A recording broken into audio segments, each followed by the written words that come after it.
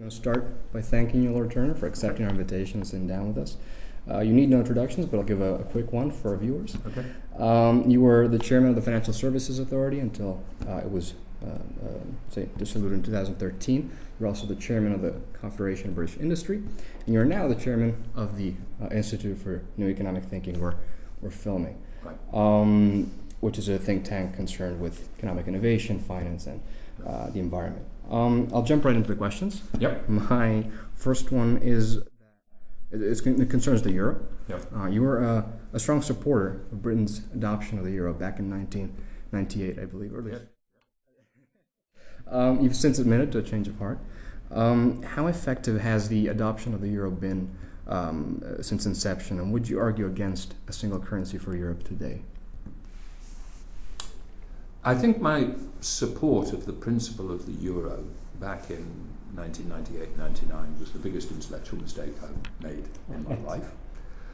Because I was over-convinced by essentially the microeconomic ar- arguments that a large economic space with a single currency would make it easier to achieve specialization by region uh, and easier to achieve high productivity.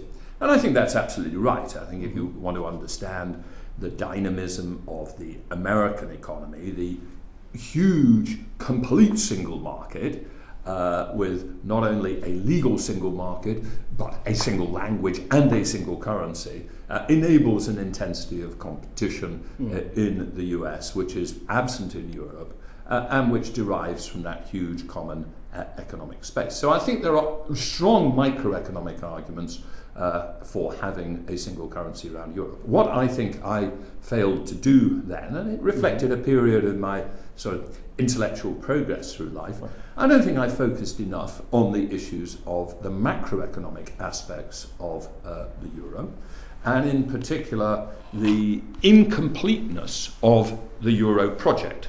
Uh, I subsequently became convinced, and I became convinced actually by 2003, and you will find uh, no public support uh, for the Euro project uh, after about 2003 uh, in my background. I subsequently became convinced that the Euro was an incomplete monetary union, and that in particular the structure with one central bank and multiple nation states where all of the fiscal debt resides uh, and with a complete lack of a common banking uh, system that that was dangerous. I mean, the way to think about it is ask yourself what would be your reaction if somebody proposed the following. Suppose somebody proposed that banks which happened to be located in Illinois should hold as their supposedly risk free liquid asset undiversified portfolios of Illinois state bonds, and that if those banks got into trouble, uh, depositors should be looked after by an Illinois state uh, deposit insurance company, not a federal dis- uh, deposit insurance company. Um, broadly speaking, you'd say that was a mad proposition because it has created correlated uh, risk. And I think what we've realized is that the Eurozone cannot work without a greater degree of political union, the creation of some element of a fiscal budget at federal level, a federal budget uh, at, at federal level. It doesn't need to be as big as a, a, a normal European state budget or even as big as uh, the US federal budget. It, mm, probably 5% of GDP revenues and expenditure would be enough. But it needs that and it needs to issue euro bonds, which are held as the undoubted risk free asset of the banking sector. Um, now, what should now happen with the Eurozone? Uh, I think it has to make a decision. Uh, I think it either has to go to that greater level of uh, federalization which is required for it to make a success, or I think it should break up. If you ask me to predict, I think it's going to be a mix of the two. I suspect that it will not survive with all 17 current members staying permanent members. Um, but I suspect it won't break up entirely and shouldn't break up entirely. And actually, the best way forward is probably what should have happened in the first place, which is an inner core of countries which were willing to go to a really deep economic and political union, forming the euro, and other countries only adding, coming into that very gradually over time. I see. Um, I want to transition to Brexit a little bit. Yep. Just a general question. I mean, as the former chairman of the Confederation of British Industry, um, what would you say will be the impact of Brexit on the country's businesses and the wider economy? I actually played no role in the uh, Brexit referendum Okay. last year. Um, I deeply regret that we will be leaving the European Union.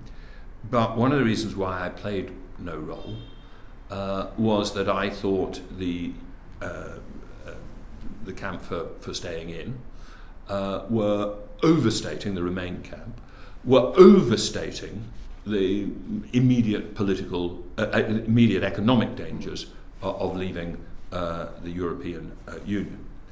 I think it will be adverse for the UK by a small but still significant amount over the long term. I don't think the impact will be as big as the Treasury model suggested, which is a 6% decline in GDP by 2030 versus what it would otherwise be. Uh, but I could easily believe, given the inherently likely nature, uh, the, the, inherently likely impact of a trade dislocation, I could easily believe that we'll be 2 or 3% worth off by 2030. But I think there was a sort of histrionic uh, element uh, to the Remain camp, which was actually counterproductive. And indeed, I think in particular, what was called George Osborne's punishment budget, where he said that if we uh, voted uh, leave, he would have to introduce a sort of immediate austerity budget, uh, was complete nonsense and totally politically counterproductive. I suspect it lost votes for the Remain camp. So where are we now? I think the impact on the UK economy will heavily depend on the deal that is done. And I think it's unfortunate that we've headed more towards what people call a hard Brexit. I think there could have been ways that keep us in some sense uh, within the single market structure, and I think that is relatively unlikely now. I think the British government is understating the risks involved in a negotiation which is essentially a divorce, and in many divorces, people start the divorce negotiations by saying that it will be amicable, and by the time you get to the end, they're arguing ferociously about the two most important issues, which are money and access. Uh, those are the two issues in divorces, and they will be the two issues uh, in this negotiation. And I think there is a, a, a tail risk that the negotiations don't work and that in about two years' time we simply go out of the European Union onto what are called WTO trade terms uh, with you know actual tariff barriers against some aspects of our uh, access to the European market and I think that would be harmful. So I think given where we are, we are going to leave the European Union. I regret that, but it's bound to occur. Um, the government has got to be very, very careful to make sure uh, that there isn't a, you know, a worse impact than there needs to be. And there is danger that people at the moment are taking too much reassurance from the short term dynamism of the UK economy. I mean, the fact is that if you have a very large devaluation of the currency, which is what we had uh, immediately after uh, the, uh, uh, uh, the Brexit vote, uh, you would expect some beneficial effect on the tourism industry, on export industry, etc. And we are seeing that uh, come through. But I don't think that's a good indicator of what will be the long term uh, impact of Brexit, which I think is bound to be somewhat negative, and the, the crucial aim in negotiations should be to make that negative hit as small as possible. Um, I want to talk a bit about the financial crisis. Obviously, as the Yep. chairman of the S- uh, FSA, you played a large role uh, in how uh, it occurred. And, and uh, I just want to read something. This is an excerpt from the uh, U.S. Senate's uh, Levin Coburn report, which concluded uh, the Great Recession was the result of, among other factors, and I quote, uh, the failure of regulators. Uh, as a former chairman of one of the largest financial regulatory bodies in the world, uh, do you think your organization acted appropriately to the challenges it faced? And in hindsight, uh, how would you have approached the situation differently?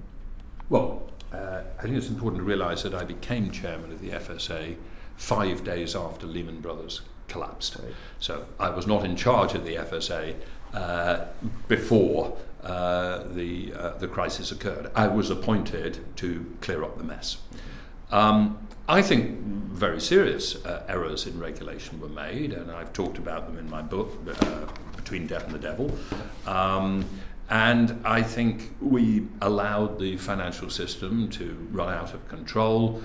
Uh, I think economic theoreticians told what, in, in uh, retrospect, was an absurdly optimistic story about the beneficial effect of uh, financial innovation. I mean, if you go back to 2006 7, you can find the economic literature full of paeans of praise to how um, derivatives have made uh, the world a safer space. How we will not have uh, financial crises again because risk has been distributed into the hands of those best uh, placed to deal with it. So, huge mistakes were made by regulators against the background of a mistaken economic ide- uh, ideology, which almost became for some people a form of economic religion, which believed that deregulating the financial system, allowing it to grow, allowing it to innovate, was making the world a better place. However, I think the even deeper problem, and it is the absolute core of what I write about in my book, is that we failed to realize the impact on economies and the vulnerabilities that comes to economies when over a long period of time you have a very big growth of leverage. The crucial fact that I think we have to concentrate on is that in 1950, private debt to GDP, so this is not about public debts, there's nothing specifically about the banking system itself. This is the debt owned, owed by customers, by consumers, and by businesses. Private debt to GDP in 1950 across the advanced economies was 50%. By 2007, that had risen to 170% of GDP. And it rose pretty much every year from 1950 to 2007 and at an accelerating pace after 1990. And it was that debt pile which then, post 2008, left us struggling with the problems of what I and other people have called a debt overhang of over leveraged consumers, over leveraged businesses. And it was their attempt to get their balance sheets back in order uh, to deleverage, which drove the global economy into the recession of 2009. So, yes, we do need to look at the mistakes which were made by the FSA and other regulators mm-hmm. in the sort of technicalities of financial regulation. But if you just focus on that, you don't see the really big picture, uh, which is the excessive growth of leverage throughout the real economy. Mm-hmm. Okay. Um, speaking of leverage, actually, do you think that um, the regulation that's in place um, now, when it comes to financial markets, and particularly the focus on leverage and capital ratios by the ECB and, and, and current stress tests, do you think that's enough uh, to, to well, essentially to regulate uh, financial uh, firms? I think what what happened after 2008, and for five years of my life, this is what I was primarily devoted to, was a very major re-regulation of the global financial system. And I was the chair of the Financial Stability Board's major policy committee, which was responsible for, uh, along with the Basel Committee, for developing the whole you know, structure of Basel III, etc. So that's what I spent five years of my life uh, essentially doing. And I hope I'm not biased too much by having been directly involved by saying, in saying that I do think overall we did a good job in relation to the financial system itself.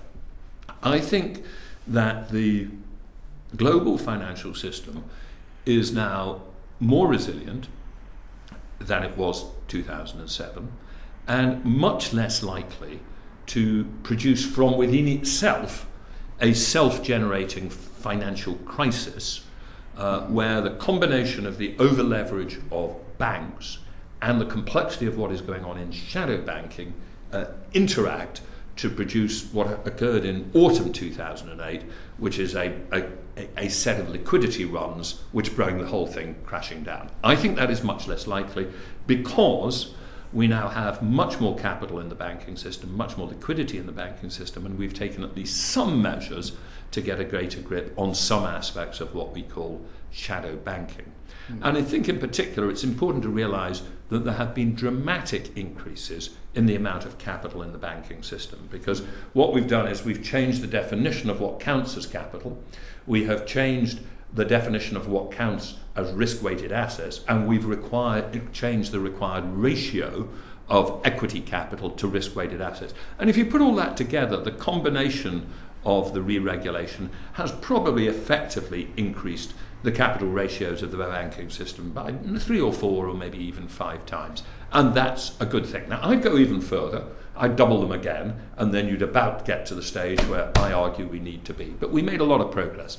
But I think the crucial thing to realize is although we've made a lot of progress in making the banking system itself less vulnerable to crisis, we've really made very little progress at all in dealing with the fundamental problem of too much debt in the real economy.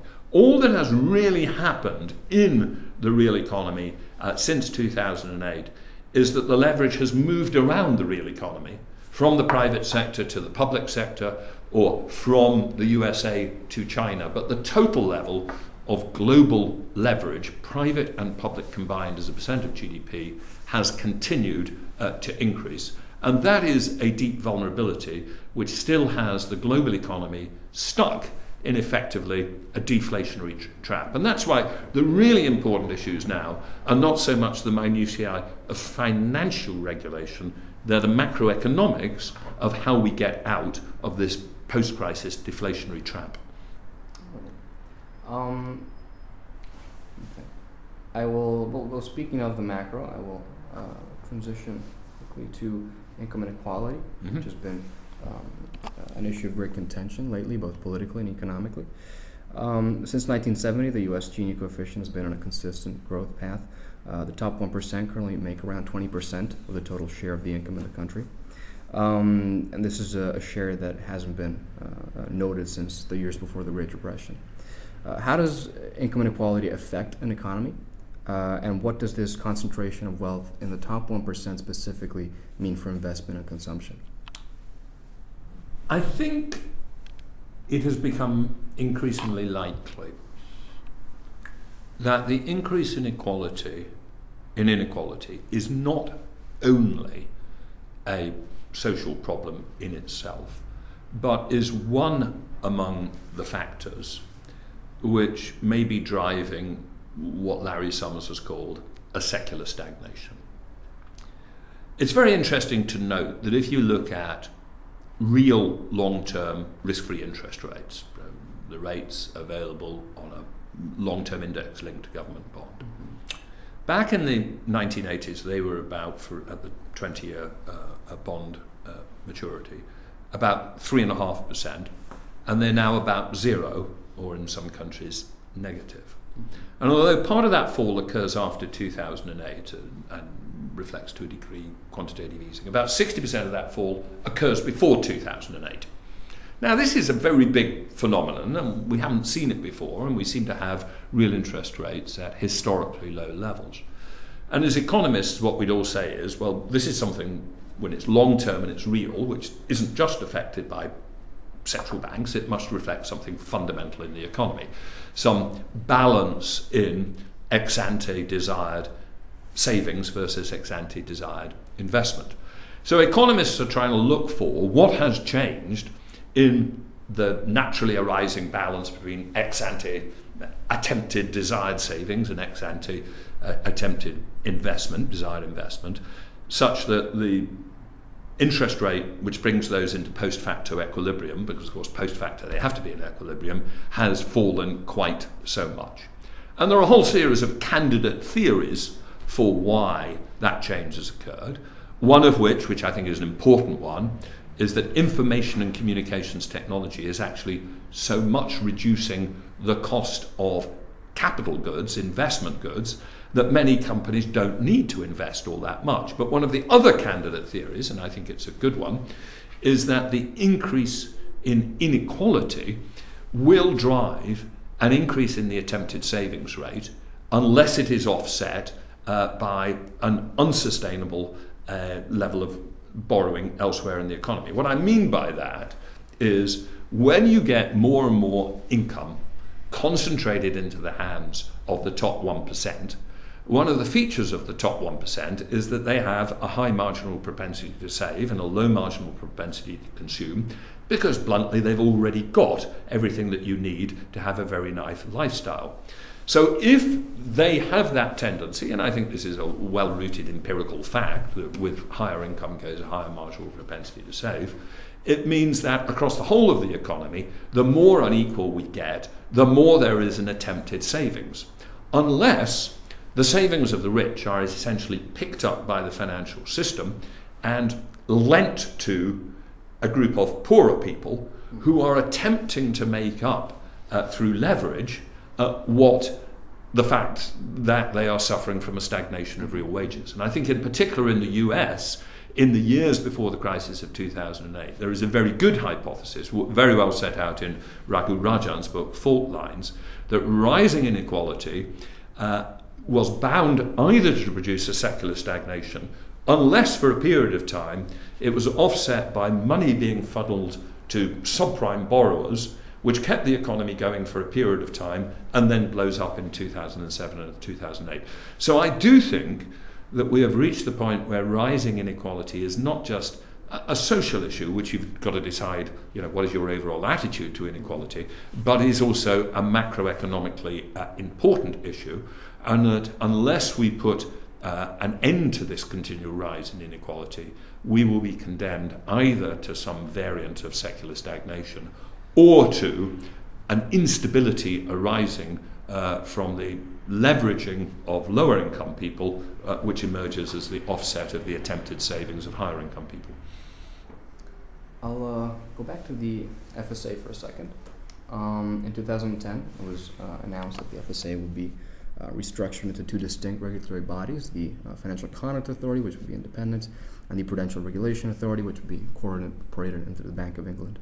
Um, first of all, what prompted the shakeup, and uh, how did it improve the way the UK regulates its financial activities? What happened in the UK is that in 2009, the then Conservative opposition, and in particular the Shadow Finance Minister, the Shadow uh, Chancellor George Osborne, said that they wanted to change the regulatory structure. And I think one has to recognize that there, were, there was a bad reason for suggesting this, and there was a good reason for suggesting it. Uh, the bad reason was a bit of straightforward politics. Uh, Gordon Brown, uh, the then Chancellor, had invented uh, the FSA by taking banking supervision out of the Bank of England in 1997 and putting it along with securities regulation and conduct regulation in the FSA. Uh, George needed to tell the British people that the financial crisis was Gordon Brown's fault. And one way of making this message was to say it all occurred because we've got a bad regulatory structure. Uh, Gordon Brown created the FSA. That's why you have a crisis. Uh, therefore, I'm going to put it right and vote for me rather than this idiot Gordon Brown. That's how politics works. Having said that, in principle, I was a supporter of what uh, George intended to do. And I always have been. I mean, when I was appointed to the job of the FSA in 2008, the then Chancellor of the Exchequer, uh, Alistair Darling, who appointed me, asked me whether I agreed with the structure of the FSA versus the Bank of England. And I carefully said I thought it was something I would work with, but it is not something I would ever have done. Mm. Um, I think that it does make sense to have all prudential regulation together uh, and for that prudential regulation to be very close to um, monetary policy and therefore the central bank. And in particular, I think the most important innovation of the new structure is the Financial Policy Committee of the Bank of England, uh, where you are able to bring in an integrated fashion the insights that arise from macro monetary analysis and the insights that arise from prudential analysis and bring them together in what people now call a macro prudential uh, focus.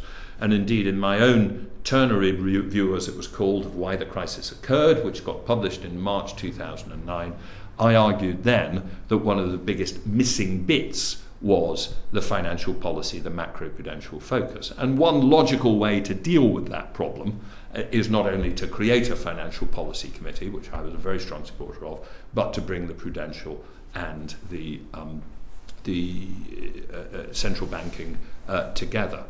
Um, so I would rather not have had to divide the FSA in two right in the middle of still struggling uh, with a financial crisis. That complicated our management challenge that we were having within the FSA to work out who was going where, uh, which were going to the FCA, which was going to the PRA, who was going to do what jobs, at the same time as still struggling with a, a banking system where we were worried that banks were going to go uh, bankrupt. But in principle, I think it was the right thing to do. And I think we are now in a better position to have a unified focus on the one side on prudential and a unified focus on the other side on conduct. And I think there are different analytical approaches, different uh, styles of approach which are required for prudential regulation and conduct regulation. And I think they will be more effectively expressed within the PRA and FCA.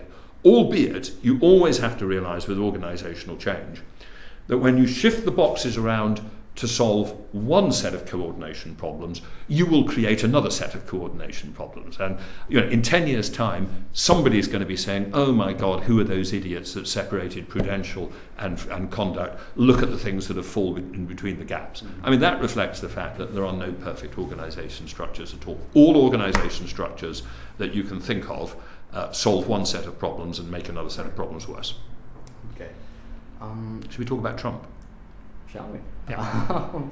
Um, there's been uh, a lot of talk around President Trump uh, and his intentions to potentially deregulate the financial sector. Uh, stocks have soared accordingly, with U.S. financials up 14% since the election day. Uh, how do you think this could affect the stability of the world's financial system? Um, and do you think that existing legislation, like Dodd Frank, uh, was enough to curtail the next financial crisis? It is obviously striking that since the election of Donald Trump uh, at the beginning of November, which most sort of establishment thinkers, first of all, dismissed in advance as impossible, and then greeted with great fear, has been followed by not only the Dow going above 20,000 for the first time ever, but also uh, upgrades in the global growth forecasts from both the OECD and, in the case of the IMF, an upgrade in the advanced economy forecast. And it's interesting that both the OECD and the IMF say that one of the main reasons that's driven them to upgrade their forecasts is Donald Trump's commitment to a fiscal stimulus. Mm-hmm. I think it is an enormous indictment of mainstream economic policy over the last seven years that we've ended up having a positive response to the policy of a, of a man who understands nothing about economic theory and couldn't give a damn about it. Because actually, the policies that we have been pursuing, which have combined fiscal austerity with ultra loose monetary policy, have been imperfectly effective in pulling us out of a recession. We should have had more fiscal stimulus. And it's just tragic that we're now getting fiscal stimulus uh, from Donald Trump uh, rather than from more acceptable and responsible uh, people. Mm-hmm. I think his fiscal stimulus will turn out to be of the least efficient uh, form. I think it'll be skewed towards tax cuts for the rich uh, rather than amelioration of the position of lower income people uh, and that will just increase the problem of inequality, which we talked about earlier. Uh, and I think there'll probably be less infrastructure investment. But it will be some form of fiscal stimulus, and it will be good for the American uh, economy. And, you know, it's tragic that what's going to happen is that the Republican Congress is going to allow to President Trump a fiscal stimulus which it would have refused uh, to President Obama. Again, an illustration of the cynicism of politics. As for Trump's deregulation agenda, I, I don't think that will be positive. Uh, I think deregulation of the American financial system uh, will be, in the long run, uh, harmful. Uh, I think uh, President Trump really doesn't understand at all uh, the origins of what happened in 2008.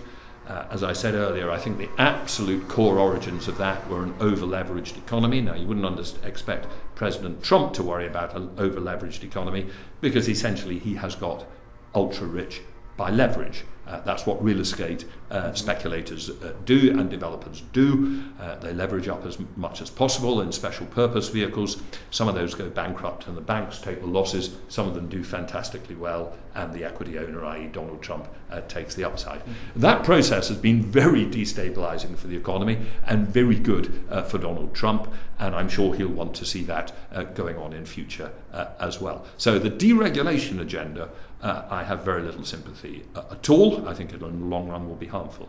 Do I think Dodd Frank is a perfect bit of regulation? Absolutely not. Like a lot of bits of regulation that come in particular out of the US because you have so much legislative uh, initiative uh, rather than executive initiative on legislation, it ends up having all sorts of things chucked into it through the committee processes and the lobbying processes, and it ends up so huge and uh, complex that it's a very imperfect piece of legislation. But was it in its key features appropriate? Yes, I think it was, and I think it will be very harmful if those key features are undermined I'll Ask you one last question, which um, it may be too specific, and maybe I don't quite understand it myself, but I think it's interesting. Um, you, you talked about shadow banking earlier uh, and its role in the financial crisis. Um, ETFs uh, have enjoyed some very strong growth in the past two decades, uh, and they are some uh, a very strong asset class and product of most shadow banks and most asset management companies. Um, they're now an essential component of any portfolio, and they're still growing very fast. However, um, some say they play, they may play a role in the next financial crisis. Uh, fixed income ETFs, in particular, um, and especially those targeting corporate bonds or, or uh, emerging markets and these sort of riskier uh, sectors, tend to be much more liquid uh, than their underlying assets. Yeah. Yeah. Uh, I guess my question is, what happens when the actual assets freeze up uh, and investors can't get out of their positions in ETFs, and how would this uh, affect the larger market if a large freeze up were going to happen. What ETFs illustrate is some general principles uh, about financial engineering and financial regulation, which is that simplicity is good and complexity is bad. Um, the basic concept of an ETF um, which is that you are able to trade a particular index or combination of uh, securities in a highly uh, liquid and low cost fashion. There is nothing wrong uh, with that. And some ETFs are essentially a sort of modern form of uh, unit trust where there is a set of underlying securities pooled in that ETF and you trade them. The complexities and the problems become when you start creating what are called synthetic uh, ETFs, um, where through a variety of derivatives and other mechanisms, you have created something which will mimic the price behavior of the underlying. Um, but where you know it, it is also has some synthetic engineering going on, and that engineering is often used, as you suggest, to provide an immediate liquidity uh, in a pool of assets which is not there in the underlying pool of assets mm. uh, itself. And one of the most important things we have to worry about in the regulation of the financial system and shadow banking is the manufacture of synthetic liquidity. Out there in the real economy, there's a certain amount of risk and liquidity. And you can't walk away from that because that's inherent with, with the operational cash flows, the risks, etc. The financial system at any time can enable people to trade things and sell and buy immediately claims on activities out there in the real economy which are long term and illiquid. That liquidity manufacturing process, up to a point, has a social value, and beyond that point, has no social value, there's no great benefit in people being able to trade at the nanosecond level rather than the three second level. But the engineering required to create hyper liquidity uh, requ- creates uh, complexity. So, the crucial thing that regulators should always have an enormous bias towards is simple structures. Mm. They should hate complexity. They should hate things manufactured out of complex derivatives. And they should hate or be very suspicious of liquidity transformation uh, where end investors are offered a degree of liquidity which is not there in the inherent underlying positions. And that is what is worrying uh, regulators across the world, and they're trying to get to grips with what they do about it. Okay. Well, Lord Turner, thank you so much for your time. Thank you. If we wanted to know more about debt and the macroeconomic problems of today, should we look at? You should indeed look at Between Debt and the Devil. Uh, it's in hardback at the moment. It's in Chinese, in Japanese, in Portuguese, coming out in French. Uh, but I also have the paperback version coming out in April with a new afterword, uh, which I've written uh, about what I call the failure elite of the elites and the reaction of populism. Mm-hmm. I do think that Trump's victory uh, reflects a, a, somewhat perverse response uh, to uh, the rise of inequality and the failure of the capitalist system because it's a response which can make it worse. Uh, but which is a, a response which was completely predictable because of the failures of mainstream economic policy and mainstream economic theory.